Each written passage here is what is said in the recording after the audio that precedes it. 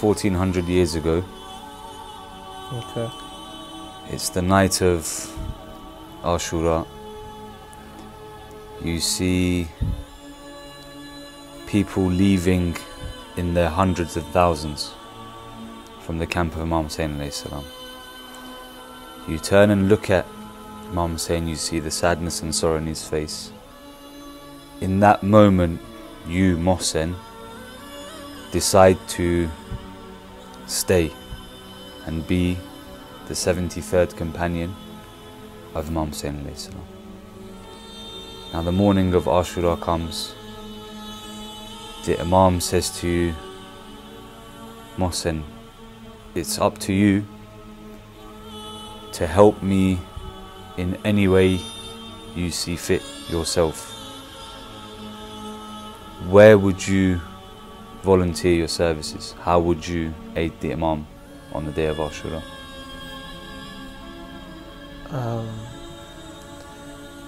first of all, I'd probably ask the Imam like what he's doing or what do you want me to do, um, and then go forth with that. It's not negotiable. Um, you know what he, uh, you know what sort of tasks he designates to myself. But if he left it up to me and said that, look, you can pick what you need to do or what you'd like to do. Um, I really don't know. Like, there's so there's so much available. Not so much available. There's so much to do. Weapons need preparing. Uh, women need taking care of. Children need distracting. Um, you know, search for food, search for water. Uh, God knows how many people are having a mental breakdown because they're about to go into war. It's not even war. It's like you're going to death. It's, death is certain. You're not winning that. It's just. It be. I, I would assume there'll be a lot of chaos.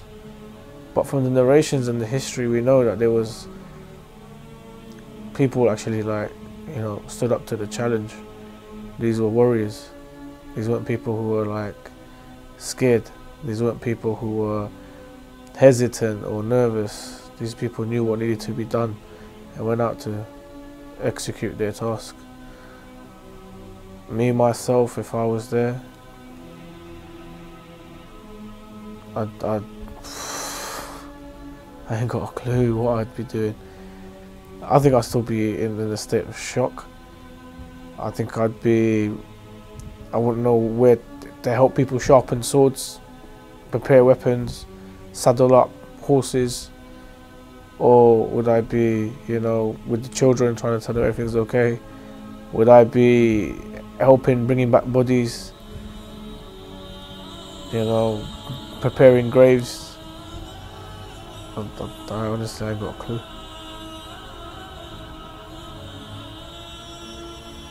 Suppose you finish work today. You drive back home. Your mom, your dad, they come to the door, they open the door, they let you in. But you see your family's in a frantic state. You see everyone's running around, gathering food, fruit, drinks, etc. So you ask your mom or dad, what's going on? Have we got guests today?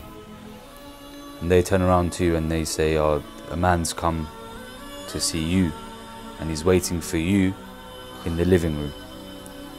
So you go to the living room, you open the door, and you see sitting there is Imam Hussein salam. What would you want to say to him in that moment? What would you have to say to him in that moment?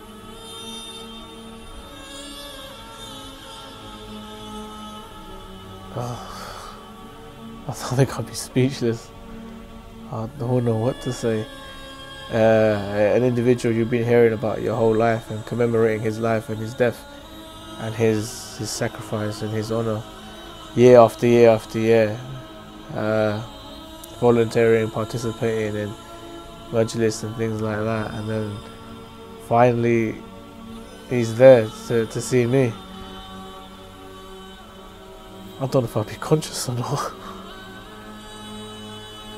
Um,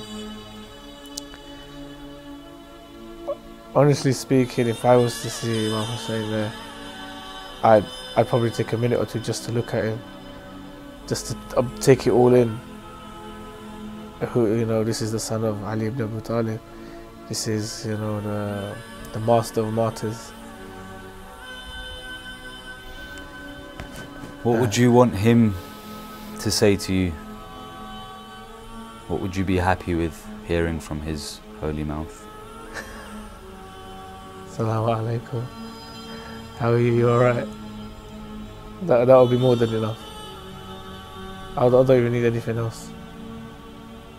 Just the fact that he's he, he's you know come to see me, that he acknowledges who I am as an individual.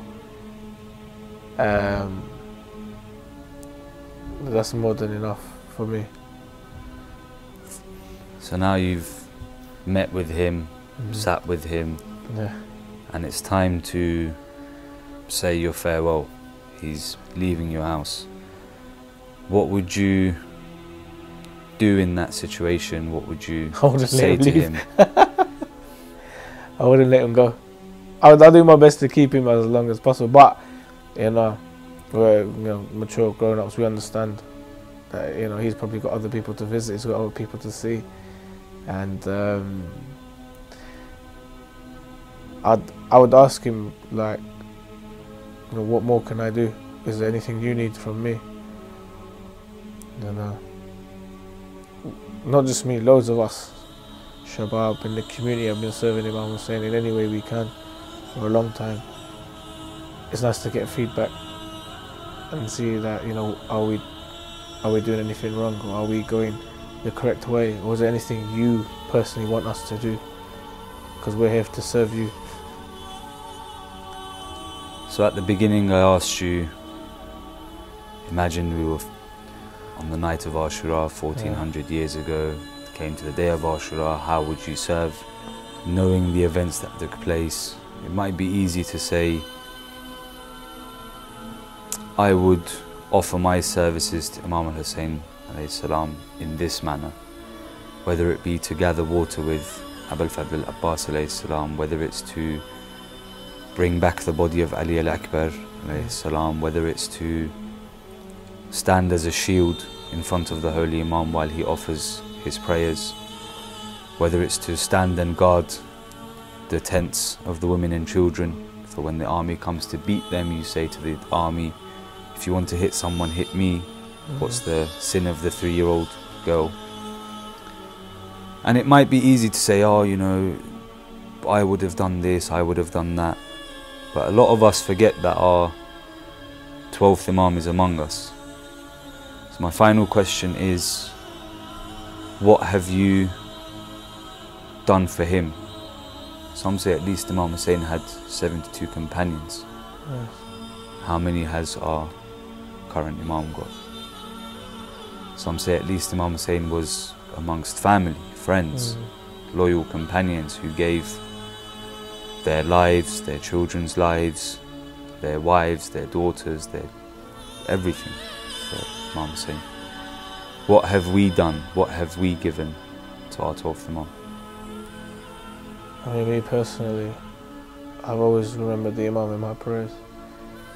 Um, I always prayed for his protection, his safety, for his health, for his wealth and fortune, and for his reappearance. For surely this kingdom, this world belongs to him, and he, rightfully so, should be placed as leader, king, khalif, whatever you want to call it.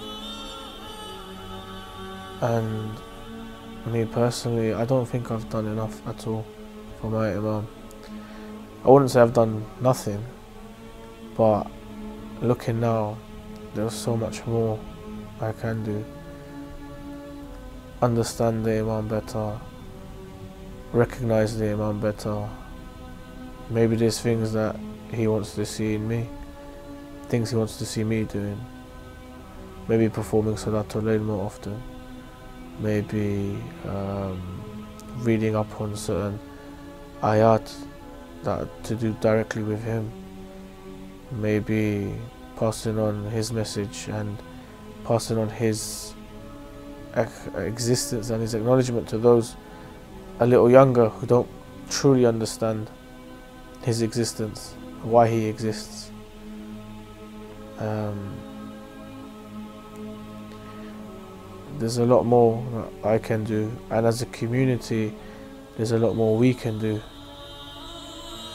People don't really understand that when the Hebrews were praying for Moses uh, in the time of the Pharaoh, because they were collectively together and so strong, Allah subhanahu wa ta'ala gave them Moses 150 years earlier than he actually planned to, than it was expected, simply because the community was so joined and the community were just one and prepared and ready for the arrival of Moses. If you look at our people, are we united on that front?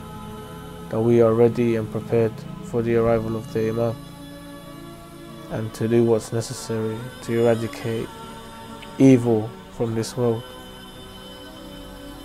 So as a community, have we actually taken the steps forward to prepare for his arrival as a community, as a nation, not as individuals?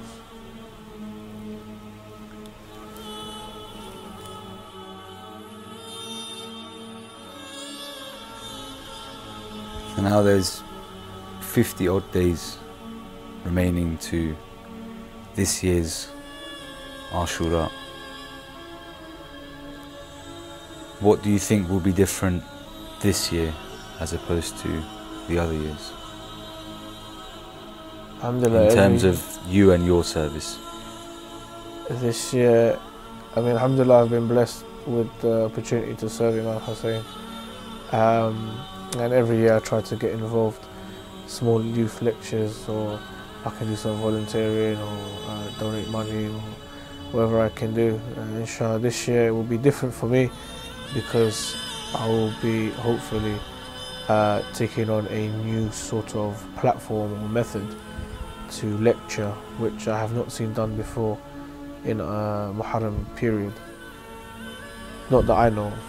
So inshallah it's something I'm working on if um, with the correct time and preparation inshallah I'll be able to pull it off as they say.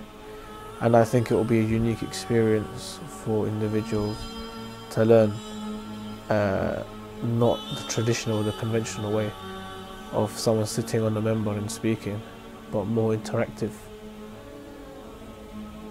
inshallah that that can materialize this year. Um, as a community, I think there's always room for improvement. There's always more we can do. Normally, each Muharram is different because different issues are addressed. Um, and people always try to do something new. For example, sometimes people start to perform in uh, plays and have some sort of theatrics uh, incorporated with the, majlis to enhance the emotion.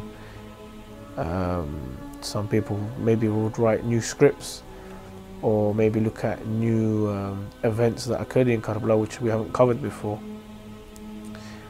and maybe uh, in, and in this Muharram we'll be able to get really uh, experienced and effective speakers to actually um, pass on a good message to our community, inshallah.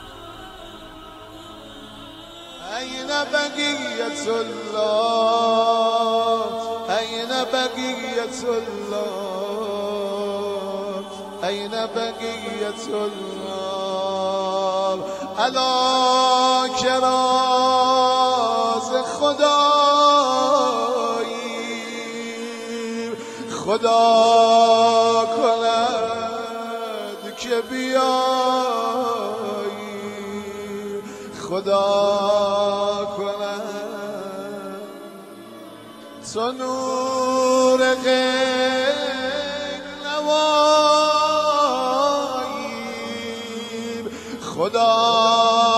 خدا